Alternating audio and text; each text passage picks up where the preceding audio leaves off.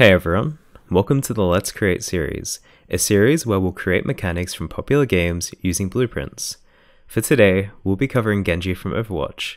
We'll be focusing on his double jump and dash ability. Alright, so let's begin.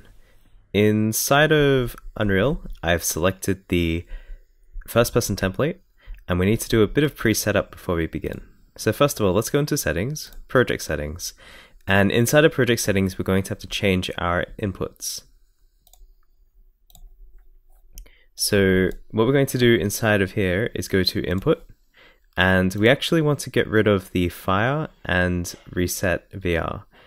So get rid of that, get rid of that, hit plus. We're going to call this dash. We're going to leave jump, so jump's preset up for us. And for dash, we're going to make it the shift. So keyboard left shift. All right, inside of first person blueprint, we're going to go to blueprints, first person character. And what we're going to do in here is get rid of a lot of unnecessary things, such as spawn projectile. So select that, delete. We're going to leave jump, leave mouse input, stick input, and then we're going to get rid of reset VR and the motion controls. We're going to get a ton of errors, so let's hit compile. Oh, it didn't. Wow. Okay. And let's get rid of these. So we're just going to delete everything in here that's not needed. So we should end up with the first person camera, mesh, arrow component, and the capsule component. There we go, first error, and here it is. So what we need to do is just right click, break link, compile, save.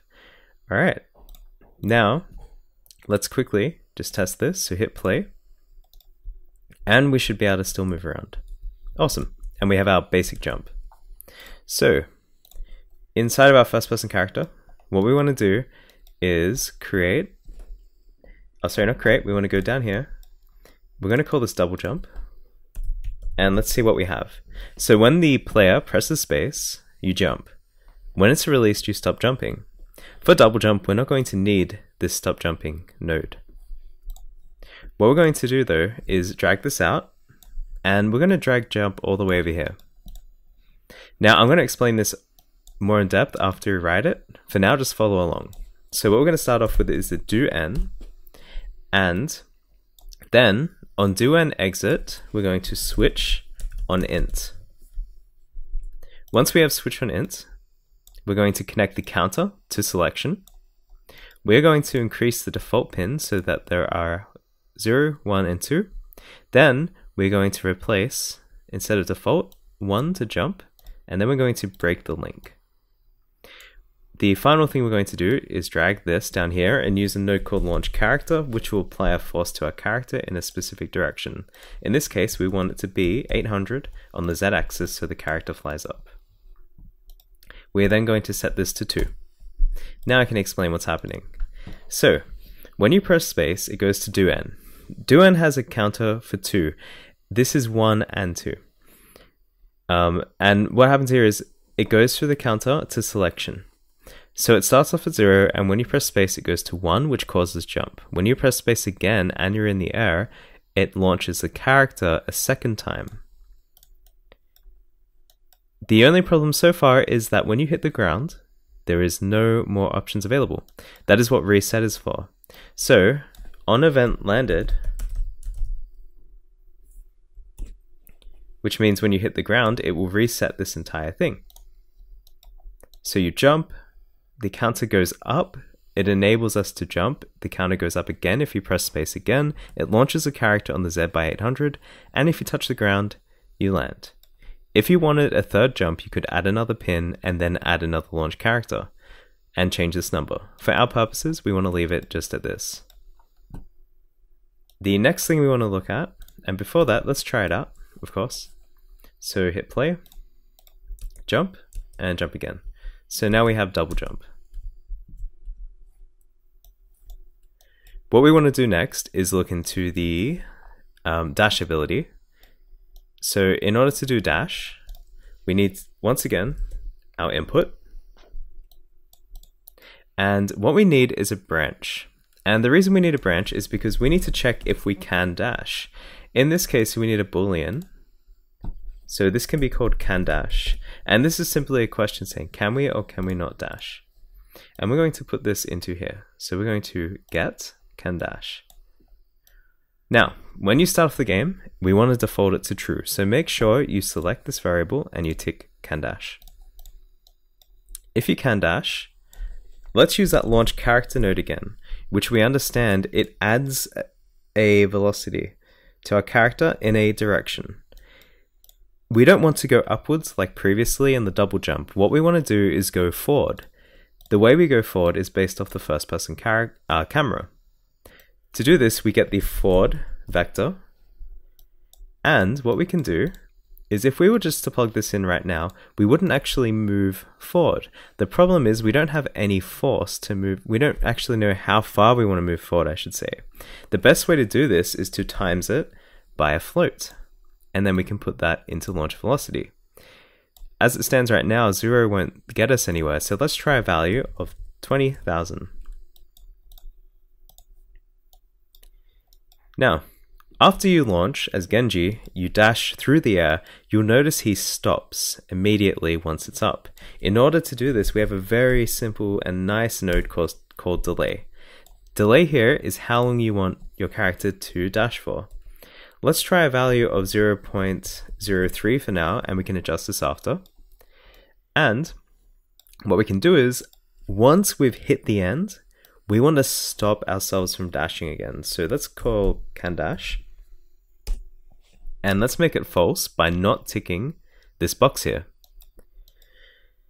Now I said we want to stop the movement. There is another node called stop movement immediately. Super convenient. And that will stop the character from moving. Once we stop moving, we want one more delay. And the reason we why the reason why we want another delay, which I'm going to set for one second, is if if we don't reset can dash, the character can never dash again. So all we need to do is drag this here, set, drag that there, and tick can dash. Let's walk through this one more time. If I write, if I press shift, I'll dash. But I can only dash if can dash is true. Can dash will turn false if I have previously dashed in the last second. Upon dashing, I launch my character in a forward vector based off where my camera is looking by this amount indicated here. After 0.03 seconds, I can no longer dash again, and I stop immediately. Actually, I should probably flip these, but we'll do it after. Then, I wait one second and I can dash again. So let's see if this one works this time. So shift and I dash forward. There is also that one second delay. So you can double jump and then dash. And the great thing is it is totally based off where you're looking, that forward vector based off the camera. There is one other thing I'd like to show you so you have additional control. So let's left click here, write a comment as always, and we just want to make this nice, so drag this out so we can contain our code, and this will be called dash. Now, if you click on to your character movement, here are all the properties that control your character. You can control how fast you'll move, the mass, all of these various properties. What we want to do is go to jumping and falling. You'll notice air control. At the moment, we have a very small percent of control over our movement when we're in the air. If we set this to 1, hit compile and save, you should notice a massive difference in how much you can control your character in the air. So if I jump, I can now move to the right if I'm moving left in my jump. If I jump to the right, I can move left in my jump. If I double jump, I can jump forward and then jump backwards. It's really nice. So as playing as Genji, I get a lot of control over where I want to move. I can double jump onto here, dash, double jump, wait, dash. And now I can really move around with ease.